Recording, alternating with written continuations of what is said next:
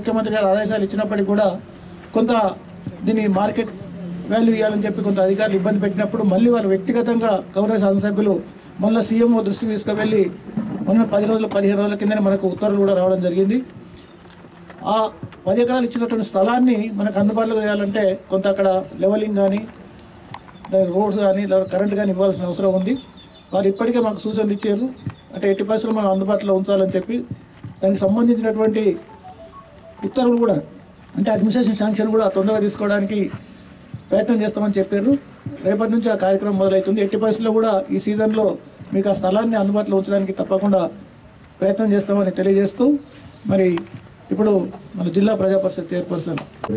సర్పంచ్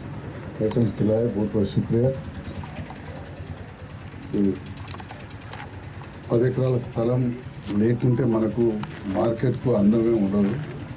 ఎందుకంటే మనం ప్రతి సీజన్లో చూస్తున్నాం ఇంకా రోడ్ పొంటి అన్ని షెడ్లు వేసుకొని కిరాయికి తీసుకొని చాలా ఇబ్బంది పడేవాళ్ళు. అంతకుముందేమో ముందేమో ఇంగానే షెడ్లు కరోనా అధికారుల నిర్లక్ష్యంతో దాంతో కూడా కొంత డిలే ఎందుకంటే ఉన్న విషయాలన్నీ కూడా చెప్పాలి రేపు ఎవడో ఏదో మాట్లాడితే దాంట్లో క్లారిటీ ఉండాలి కాబట్టి చెప్తా చాలా పెద్ద ఎత్తున బ్రహ్మాండంగా ఒక ఫిఫ్టీన్ బై నైంటీ ఫీట్ తోటి అంతే కదా సెక్రటరీ గారు పదిహేను బై తొంభై. టోటల్ అరవై షాపులు. అరవై మూడు. షాపులు వస్తున్నాయి. మనకు మామూలు కూడా లైసెన్స్లు ఎన్ని లైసెన్స్లు? మ్యాంగో తొంభై మూడు తొంభై మూడు. రెండు కలిపి? రెండు కలిపి వన్ ఫిఫ్టీ. ఉన్నాయి.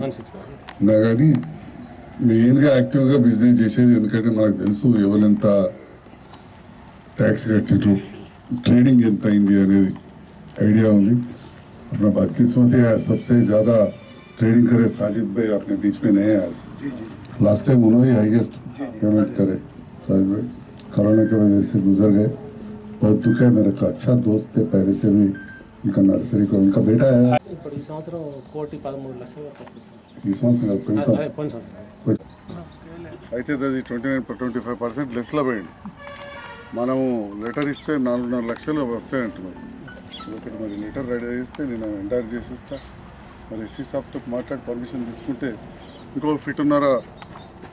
అప్పుడు వాడలేదు లేదు అది కూడా నిన్న కలెక్టర్ సాబ్ దృష్టి కూడా తీసుకెళ్ళాం.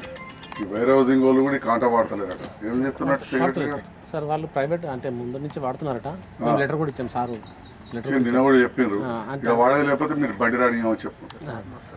కాట మంచిగా చెప్పారు. ఖరాబ్ ఉన్న కాట కాట ఖరాబ్ అది మంచిగా మొన్న చేయించినాం ఇది కూడా ఇప్పుడు చేపిస్తాం మరి ఇంతమంది ట్రేడర్స్ ఉన్నారు ఆడ రైపెనింగ్ చాంబర్ ఉంది.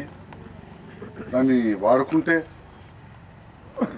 అది నేను అంత ఎన్ని పైసలు పెడితే మంచిగా అవుతుంది?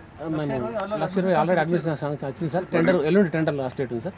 ఎవరు చేస్తారు రిపేర్ అది? ఎక్కడ వస్తారు? ఆయన హైదరాబాద్ సార్ సవాల్ కరేనా పోయి సామనే ఎవరో కొన్ని చేసుకోండి బట్టి ఆడ పడింటే ఎలా ఉంది कोई बात नहीं नहीं मालूम ना साहब हमको नहीं मालूम ఈ ప్రెసిడెంట్ పది సార్లు నాలుగు సార్లు పిలిచి చెప్పినాను ओके आज तो सबके सामने बोल रहा हूँ ठीक है कोई तो भी सामने आके उसमें मौज का हो तो कुछ तो रेपनिंग चैम्बर है कोल्ड स्टोरेज रूम है रेपनिंग चैम्बर మంచిగా ఉంటుంది కదా सबके अच्छा लगता है भाई भाई